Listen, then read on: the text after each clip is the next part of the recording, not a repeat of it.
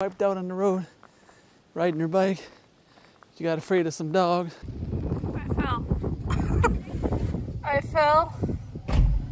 I fell again, except this time worse. I Had to go pick my daughter up because she fell. But Abby's okay. I fell off the pavement and swerved a bit, get back on, which is what I back.